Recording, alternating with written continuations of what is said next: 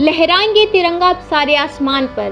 भारत का ही नाम होगा सबकी ज़ुबान पर। ले लेंगे उसकी जान या खेलेंगे अपनी जान पर। कोई जो उठाएगा आँख हिंदुस्तान पर।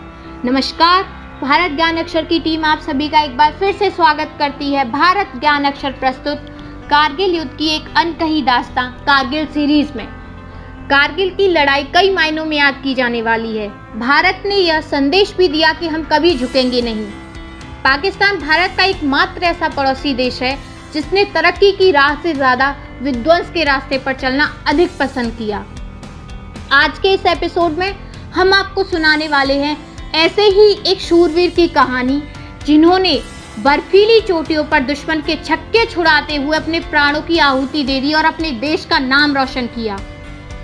कारगिल लड़ाई साठ दिन बाद 26 जुलाई को खत्म हुए विश्व के इतिहास में। माउंटेन वॉरफेयर का एक शानदार उदाहरण पाकिस्तानी सेना की करारी हार का, जो चेक पोस्ट छोड़ने के लिए हुए थे मजबूर। आपको जानकर हैरानी होगी कि द्वितीय विश्व युद्ध के बाद कारगिल युद्ध को ही इतिहास का सबसे भयावह युद्ध माना जाता है, क्योंकि इस युद्ध में भारी मात्रा में विस्फोटक, रॉकेट, मिसाइल, तोप और मोर्टार का इस्तेमाल किया गया था। सेना के अधिकारियों के अनुसार कारगिल वॉर में करीब ढाई लाख गोले, पाँच हज़ार बम व 300 से अधिक मोर्टार दागे गए थे। बताया जाता है कि कारगिल की लड़ाई के सत्रह दिनों तक हर दिन प्रति मिनट एक दफ़ा फायर किया जाता था।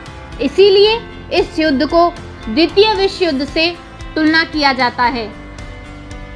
ऑपरेशन विजय 26 से 27 जून उन्नीस पॉइंट सत्तावन सत्तर पर आक्रमण शुरू हुआ।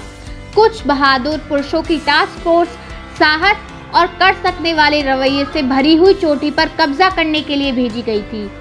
जून को भारत पाकिस्तान के युद्ध में अमेरिका को हस्तक्षेप करना पड़ा। अमेरिकी राष्ट्रपति बिल क्लिंटन ने परवेज मुशर्रफ से फ़ोन पर कहा कि अपनी सेना को कारगिल सेक्टर से जल्दी हटा दें। अंतर्राष्ट्रीय मीडिया में भी कारगिल के युद्ध की खबरें सुर्खियों में थीं। पाकिस्तान को विश्व स्तर पर अन्य देशों से सहायता मिलना भी बंद हो गया था। दोनों देशों के बीच सैनिक शहीद हो चुके थे और भारतीय मीडिया रोज रोज आ रही शहीदों की कहानी की दास्ता सुना रही थी। सभी उस वक्त का इंतज़ार कर रहे थे कि कब शांतिपूर्ण माहौल की स्थापना होगी दोनों देशों के बीच। अब हम आपको सुनाने जा रहे हैं उस वीर जवान की कहानी जिसने अपनी भारत माँ के लिए अपने प्राणों का बलिदान दे दिया। आज हम बात करने जा रहे हैं हरिदेव सिंह की। कारगिल युद्ध में नालंदा की मिट्टी के हरिदेव ने जोश जज्बे व ताकत का परिचय दिया था। 12 जून 1999 को वे शहीद हुए थे। उनकी शहादत के सम्मान में बड़ी बड़ी घोषणा की गई थी, लेकिन सब कागज़ी साबित हुए। बस उनकी यादें ही बची हैं। हरदेव का जन्म एकंग सराय के कुकवर गाँव में 31 मई 1970 को हुआ था। 1988 में बिहार रेजिमेंट दानापुर में प्रथम बटालियन में शामिल होने के बाद हरिदेव ने उन्नीस सौ चौरानवे में भूटान एवं सोमेलिया युद्ध में दिलेरी का परिचय दिया था। इसके लिए उन्हें पुरस्कार भी मिला था। हरिदेव को एक पुत्र, सुधांशु, दो पुत्री, मनीषा व निशा हैं।